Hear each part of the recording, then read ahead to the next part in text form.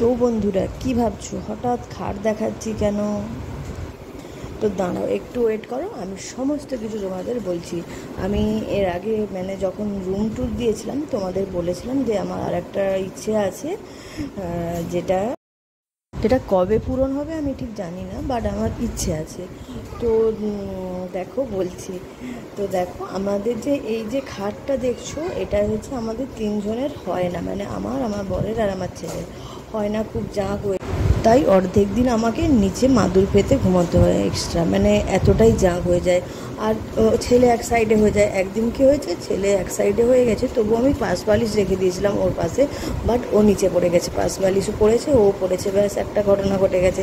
তো তারপর সিদ্ধান্ত নিলাম যে খাটটা যে বিক্রি করে দেবো। এই খাটটা বিক্রি করে একটা বড় খাট আনব সিক্স বাই সেভেনের খাট আনব। তো দেখো, তার জন্য সকালবেলায় বর ওয়েলেক্সে দিয়েছিল, খাটটার ছবি টবি দিয়েছিল, ঠিক তখনই মানে দশ মিনিট পরে একজন ফোন করেছিল, খাটটা খুব পছন্দ হয়েছে খাটটা নেবে। ওই ওই দিনই বিকেলবেলা এসে ওরা নিয়ে গেছে খাটটা। আর খাটটা নেওয়ার আগেই আমি ভাবলাম, চলো একটু ভিডিওটা করে নিই। এই অনেক স্মৃতি জড়িয়ে আছে এই খাটটাতে। মানে সবচেয়ে ভালো লাগতো যখন পুতুল টুতুল সাজিয়ে রাখতাম খাটের মানে ওপরটাতে। তোমরা তো দেখেছ ভিডিওতে। আর এই জন্য একটু মন খারাপ হয়ে গেছিল খাটটাতে মানে এটা প্রায় হয়ে গেছে খাটটা অনেক দিন তো এই জন্য একটু মন খারাপ লাগছিল খাটটা চলে যাবে, পুরনো জিনিস।